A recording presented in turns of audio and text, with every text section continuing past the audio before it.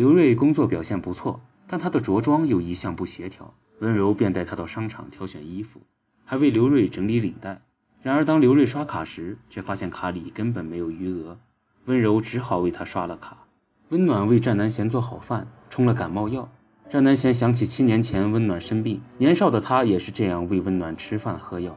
战南贤故意装出一副可怜样，温暖无奈只能留下。战南贤又得寸进尺，要求温暖帮忙打扫卫生。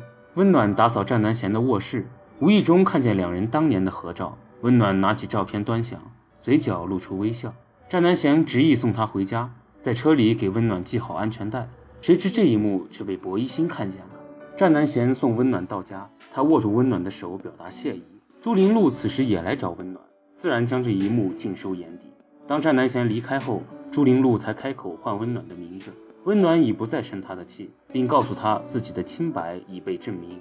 薄一心情场失意，将潘维宁喊来陪他一起喝酒。潘维宁抢下他手中的酒瓶，希望他爱惜自己。薄一心却大发脾气，潘维宁一气之下将水泼在薄一心脸上。薄一心伤心啜泣，潘维宁忍不住想要一吻芳泽，却被狠狠扇了一巴掌。他只好道歉，并深情表白，希望薄一心能接受自己。战南贤对着宠物乌龟喃喃自语。其实和温暖一起过这种寻常日子，就是自己最想要的生活。另一边，温暖回忆起与战南贤度过的美好时光，他给李阿姨打电话，诉说自己的好心情。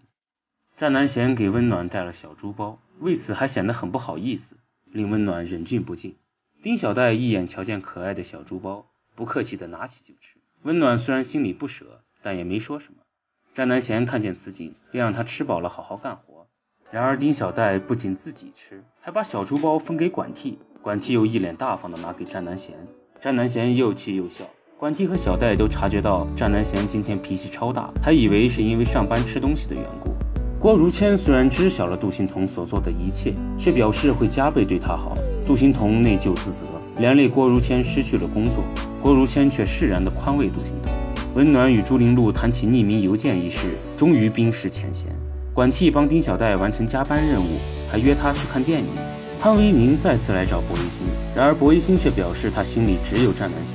潘维宁也不强求，还拽着一心去唱歌。薄一心唱了一首伤感的歌，回忆起年少时只能远远地看着战南贤和温暖亲近，自己却只是个局外人，泪流不已。好了，这集内容到这里就结束了。欲知后事如何，请锁定腾讯视频，搜索“温暖的弦”速看版。